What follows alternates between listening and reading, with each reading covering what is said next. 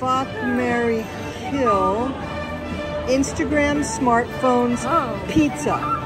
I would have to kill Instagram, marry smartphones, which I don't want to do. Like, I don't want to marry my smartphone, but I am already married to my smartphone.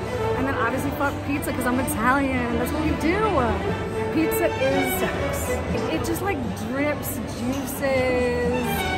Think about it all day. You don't want just any pizza. It's like you're very particular about the pizza that you want. It's about the, the cheese. cheese. And I'm gluten free, which makes it really problematic because like there's just not really that good. Like the gluten free pizza is like not that good. So your sex isn't that good. I mean, I wish it were better. As much as I would want to marry pizza, it's like given the current, like I can't imagine not having GPS or being able to access my location at any given point. So, Right, and your you know. and your phone's gluten free.